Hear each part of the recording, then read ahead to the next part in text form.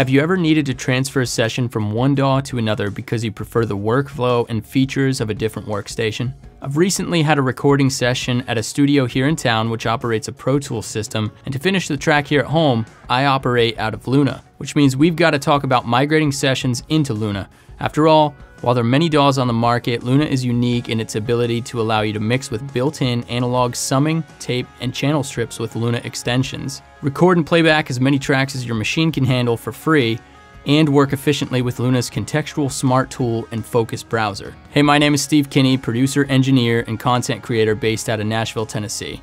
In this video, we're gonna look at how to migrate session data from another DAW to Luna using AAF, WAV files, and MIDI. Now, since I already have a session in Pro Tools, we're certainly gonna cover the migration process out of Pro Tools, but we're not stopping there. We're gonna go through migrating a session from Logic, Ableton, FL Studio, Cubase, and Studio One. Let's get it going. First, let's take a look at how we can quickly import an entire AAF session through the Luna Create page with just a few clicks. Once we open up Luna, we're ready to create and import our session. The first thing we're gonna do is name our session. Next, you'll notice the start from header. Here, we're gonna start the session from AAF. Choose our file. Now we're ready to bring in our markers. You'll notice right underneath the AAF file that's been populated that we have an icon that says add MIDI. Click here and load the MIDI file we created alongside our AAF export. Now, let's be sure to save this new Luna session to our proper folder location that we want. Now we're ready to hit create. In just a few clicks, our session is recalled and ready for further mixing in Luna. AAF or Advanced Authoring Format is a format used by DAW and video applications like Avid Pro Tools and Adobe Premiere to exchange sessions. Fortunately, many popular DAWs support it, making it easier to move sessions between the different programs and collaborate with other creators. Luna can create new sessions using an AAF file the audio files generated when the AAF is exported, and by using a multi-track MIDI file generated along with the AAF file. When you export or import an AAF file, you can get that session's audio tracks with their time positions, fades, and track names. This is obviously great because you get up and running much faster, and it makes it so that you don't have to do any sort of manual track consolidation and generate increased file sizes. What's typically not included is any automation, panning, buses, plugins, or virtual instruments and MIDI. That said, markers can be imported, however, that lives outside of the AAF file, and we'll touch on that a little bit later in the video, along with how to bring in virtual instruments. Starting from an AAF is great if you're wanting to take the foundation of a session created in a different DAW and mix with the power of Luna's extensions and mix engine. To get started on exporting your project from Logic, you'll want to make sure you do a few final preparations before you're ready to start the export process. When exporting AAF from Logic, plugins and processing are not included on the export. You get the raw clip. So if you have a track with Melodyne or if you have a particular set of plugins on a track that you need as part of the export, you'll want to make sure you bounce those tracks in place first. Additionally, take folders do not transfer so only the top layer of a comp track will be included, so be sure you've comped your tracks. The top layer of the comp will be imported exactly as you see it in your current session, so if you need to readjust a clip, you'll be able to do so. If you have MIDI instrument tracks and you plan on continuing production further, it'll be a good idea to join all regions for each track, as well as saving a preset for that specific instrument inside the instrument's plugin window and not via the Logic preset manager. We're now ready to export out our session. Go to File and select Export Project as AAF. Check your audio settings, choose a location, name the file, and export. To bring over your Logic Sessions MIDI and markers, we will export out a MIDI file. This MIDI file will allow us to transfer tempo, time signature, and marker information. Now bringing in the original MIDI file is useful if you're continuing production with different software instruments in Luna like Shape. Before we can click export, tidy up your MIDI regions. You can join multiple MIDI regions into one using the keyboard shortcut Command plus J. Be sure to delete any muted parts or unused takes. If no MIDI exists but you want to transfer tempo and markers, create an empty MIDI region and add a random MIDI note. To export your MIDI from Logic, go to File, then click Export, select All MIDI tracks as MIDI file. Choose a location for your file and export. Now you're ready to move forward with the import and session creation process in Luna. To get started migrating my session from Pro Tools, I'm going to first do a few basic preparations. Since this is a session from another studio, I'm going to make sure that all my tracks are named in the nomenclature that I want them to be in. I'm also going to make sure that all of my tracks are properly comped. If there are any tracks that have special processing that I want to include on the export, I'll make sure to bounce those in place first. Now that I'm ready to export, select all tracks in the session by option clicking on a track. I'm going to go to File, Export, Export selected tracks as AAF. From here, we will select AAF, make sure that we check Enforce Media Composer Compatibility, double check that if your project has stereo tracks in them, that you're exporting them as stereo channels as well. In this case, we will deselect this to make sure that our tracks will export out as stereo.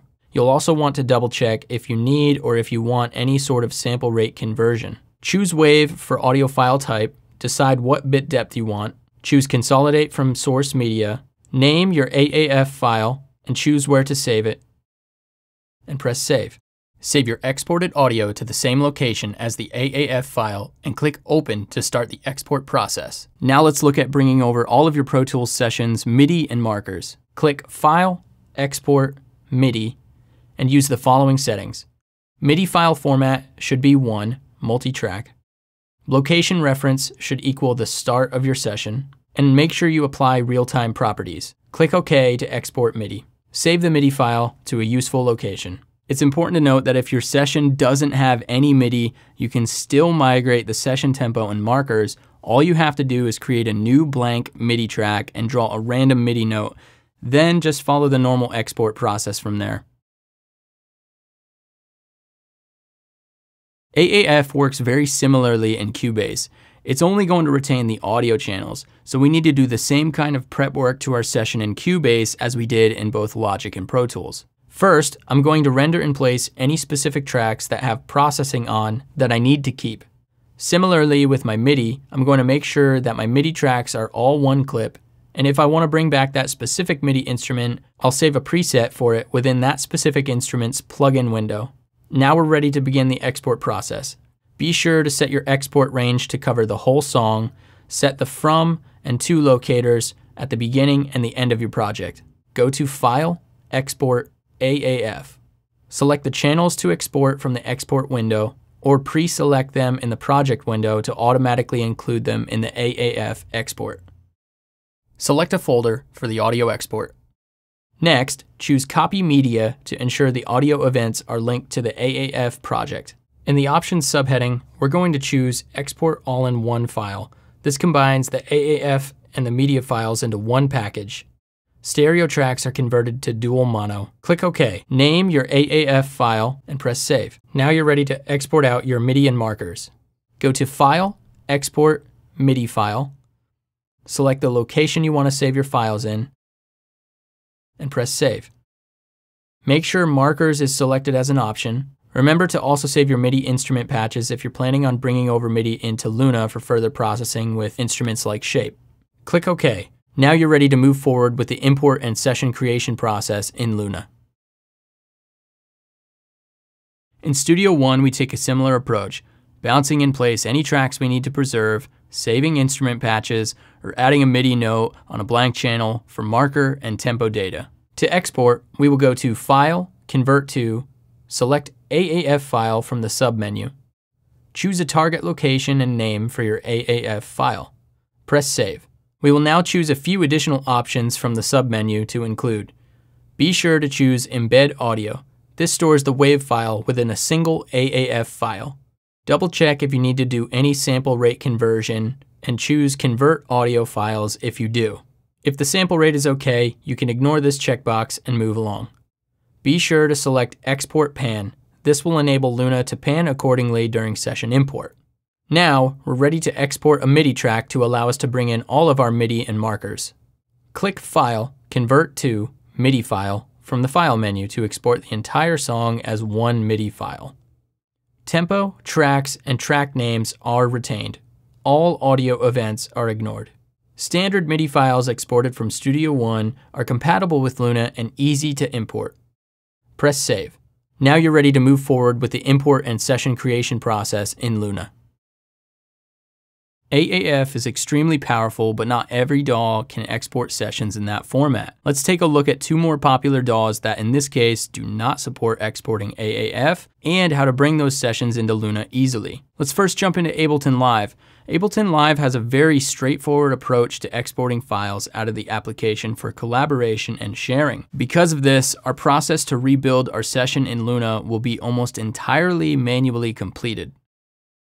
To prepare your export in Ableton, be sure to save any instrument patches for recall. You'll also want to consolidate all MIDI events related to a particular track. To consolidate a MIDI track, select all related MIDI clips. Right click and select consolidate. From here, we can get started exporting. Go to File, Export Audio Video. Select rendered track and choose all individual tracks. Make sure your render start and length span the entire song. Next, decide if you want the master effects to be included in the export. Make sure render loop, convert to mono, normalize, and create analysis file are all deselected. Choose your sample rate, select encode PCM, choose wave file, select your bit depth, choose export, choose your save location, and click save. To export MIDI, manually right click on the target clip. Choose Export MIDI clip. Choose your save location and name for the file. Click Save. Repeat this for your other MIDI tracks that you plan on importing. From here, we're ready to import into Luna. Jumping into FL Studio, there are two ways to bulk export your project. You can either export every mixer track or every playlist track. First, let's look at the exporting from mixer tracks method. This method allows you to export each channel in the mixer and it allows you to bypass the master bus upon export. Since multiple playlist tracks can be routed to the same mixer track, those playlist tracks will export together as a stem. To get started, go to File, Export, Wave. Name the file and select your save location. In the dialog box, be sure to select your bit depth. Then make sure Split Mixer Tracks is selected. This is what allows you to get the individual tracks out of FL Studio's mixer. Decide if you want to include your insert effects in the export. Be sure to save tempo information. Press start. From here, you'd be ready to bring the wave files into Luna.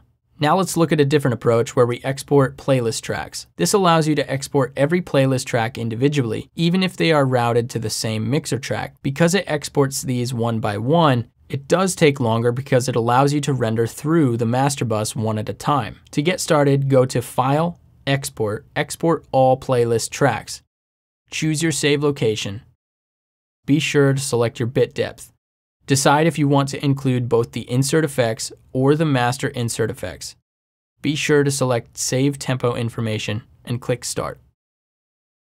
It's important to note that neither method will carry over your session's markers, nor will it bring over your MIDI data. Similarly to the other methods, you will have to manually export out your instrument patches as well as exporting out the MIDI clips. To export the MIDI clips, you can either manually export each piano roll or you can use the export macro. The export macro is slightly destructive to your project, so it's important to save a new version of the project before we move forward. First, go to File, Save As, New Version.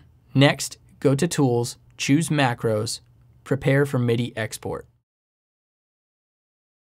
Then go to File, Export, MIDI file. Name the file and select your save location. Be sure to choose full song to consolidate each playlist track into one MIDI file. Now we're ready to import into Luna. Now let's look at how to import into a new session from DAWs that do not export AAF files. For the DAWs like Ableton and FL Studio, importing is very easily handled by dragging and dropping. Simply create a new session, assign the proper tempo to your project. Now let's be sure to save this new Luna session to our proper folder location that we want. Now we're ready to hit create. Now, drag the wave files into the new session. If you've attached the tempo metadata to your wave or MIDI exports, be sure to click Use Tempo Map. Next, drag the MIDI file into your session, select and use Tempo Map if applicable. You can now assign your instruments to the corresponding MIDI track, and if you've saved your patches, recall them once the plugin's loaded. So there you have it, importing sessions from another DAW can be as simple as drag and drop or as painless as importing from AAF. Love to hear your thoughts in the comments section below. Please subscribe to the Universal Audio YouTube channel and be sure to share your ideas and improvements for Luna using the feedback menu in the top right corner of Luna. Now, as always, go create some music. See you in the next video. Cheers.